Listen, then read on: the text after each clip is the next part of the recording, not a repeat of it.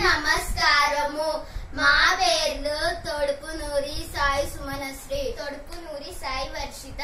మేము నాలుగో తరగతి చదువుతున్నాము. ఈరోజు మేము మా మాతృభాష తెలుగు ప్రాముఖ్యత చెప్పుచున్నాము.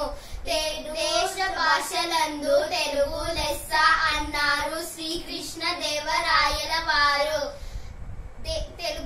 భాషని ఇటాలియన్ ఆఫ్ ద ఈస్ట్గా పిలుస్తారు.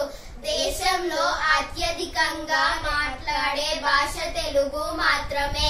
ప్రపంచంలో ప్రపంచంలో ఉత్తమ రెండో లిపిగా మన తెలుగు భాష నిలిచింది. మనము పరాభాషను నేర్చుకోవాలి కానీ మన మాతృభాషను మరవకూడదు. మీకొక రహస్యం చెప్పమా? అదేమి భాషలో నలభై శ్లోకాలు కలిసి ఒక కచిక ఉంది. అదే మొదటి నుంచి చివరి వరకు చదివే రామాయణం అవుతోంది. అదే చివరి నుంచి మొదటి వరకు చదివితే అది మహాభారతం అవుతుంది. ఇలాంటిది ప్రపంచంలో మరే భాషలో లేదు. ప్రపంచంలో